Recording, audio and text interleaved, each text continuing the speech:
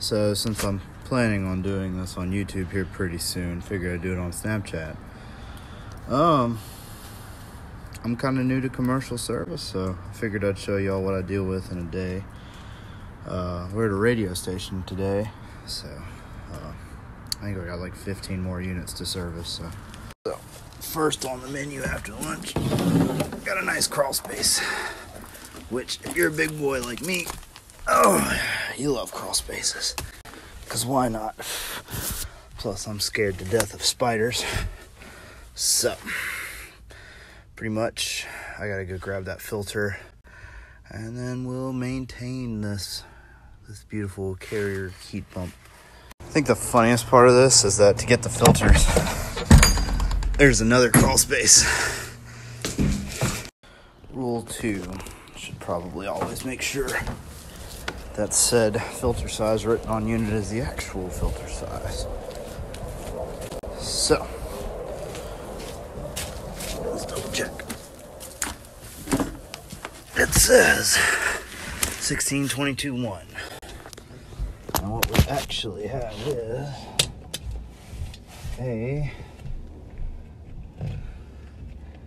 Come on. Come on. Come on, man. It is a 1620. Even better. I do have to say, it gets very dark in here when you don't have that, but now with my brand new toy here.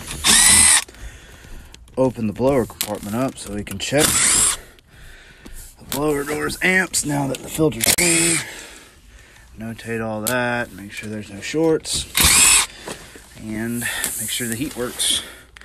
Even though it's like 70 degrees outside, it's fine though. Let's get this panel off. Oh. Yeah, the insulation's like halfway off the door. It's good for it. And that is our carrier blower. An ECM, which means it doesn't need the capacitor to start. Which is cool. One less thing to check. Alright, let's get these blower in. Alright, so to check it, since we're in a crawl space and nowhere near the thermostat, we use our handy dandy jumpers. Jump off, red and white.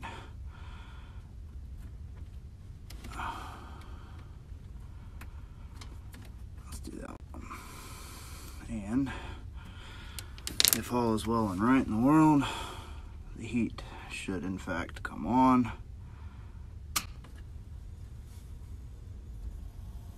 Yeah. There we go. Now we check amp draw.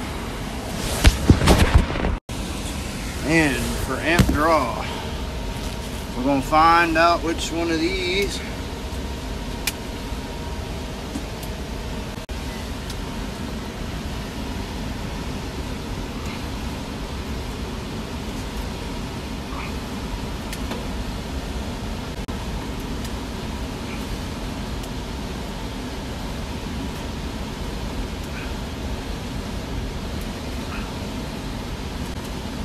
There we go. And it's gonna be high because the door's open. But this thing's rated for like 7.3, 7.4, so that's well within range. And because I know somebody's going to get me for that open door comment, we'll do it without the door open. I'll brace the door on there and we'll get our closed door amp draw. So jump it, it'll start.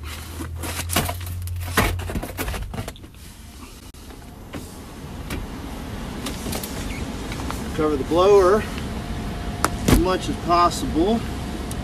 And then, then we'll take our amp draw from the black wire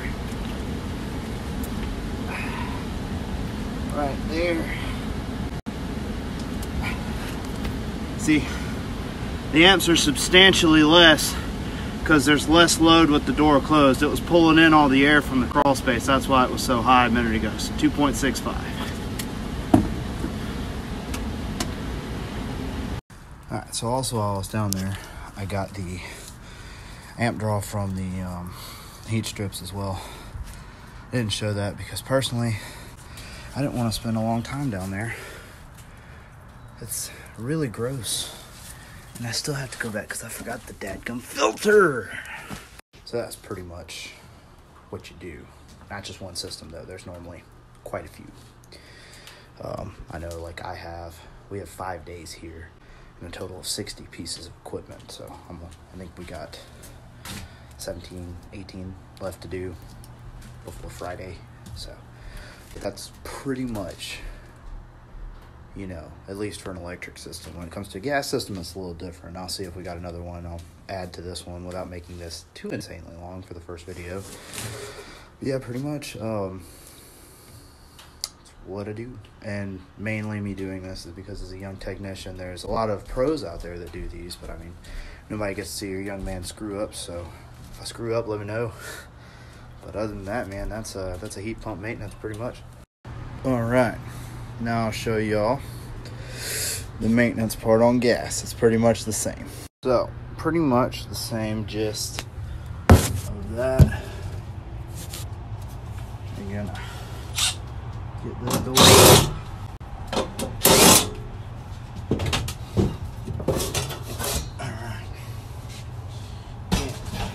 get. So your main difference, other than this nasty filter, I'll just pretend that's not there, is that it is gas and you have burners instead of the refrigerant and a reversing valve and heat strips you have an inducer motor which vents the carbon monoxide gas valve burners also do have a capacitor to check so capacitor kind of gives it just a little surge to start the motor spinning and then the regular motor will catch itself and maintain the rotation. But it's pretty much like a little kickstart. All right, as you can see, this is a 5 MFD capacitor, microfarads. Switch your settings to MFD on your meter. You're gonna read open line at first, then it's gonna go to caps. 5.11. We're well within range. That's a good capacitor. We'll put that guy back and we'll fire this heat up. All right, and now it's our handy dandy jumpers. You'll jump red. Oh crap! You jump red and white. You hit your safety door switch, and that'll fire the inducer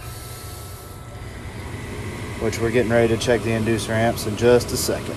Alrighty, so the inducer is rated, rated rather, for 1.45. See what kind of draw we get. It's going to be very high on startup. Then it's going to continue on down. 1.22, that ain't bad. Still under. A little high. Then, all right, so your order of operations for the furnace, your glow fly comes on after your inducer. And then we should have ignition. Beautiful. Next thing we'll do is we'll check the blower amps once it comes on.